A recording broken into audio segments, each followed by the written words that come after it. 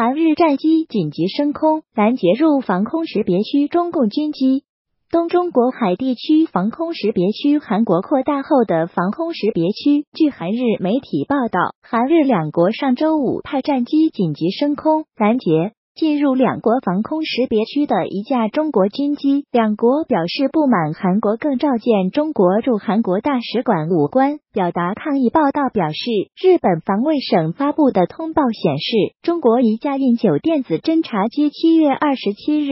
自东中国海向东北方向飞行，经过苏岩礁附近海域后沿日本对马岛与韩国釜山之间的釜山海峡进入日本海，并原路返回。报道说，这架中国侦察机在韩国和日本防空识别区内分别飞行了四个小时。韩国紧急出动 F 十五 K 战斗机拦截伴飞，并示警广播。今年二月和四月曾发生中国战机。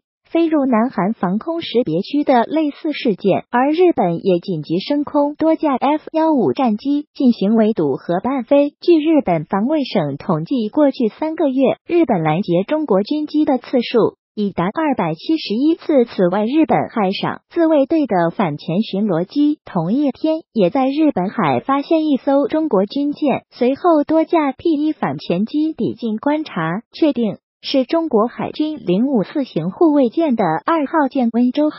中国媒体报道说，零五四型舰作为中国海军目前的主力护卫舰，很少出现在日本海。目前，中共军方没有回应此次事件。韩国称苏岩礁为鲤鱼岛，该礁位于上海崇明岛以东约一百五十海里。中韩两国对此礁有争议。目前为韩国占有礁上舰有直升机停机坪。卫星雷达、灯塔和码头。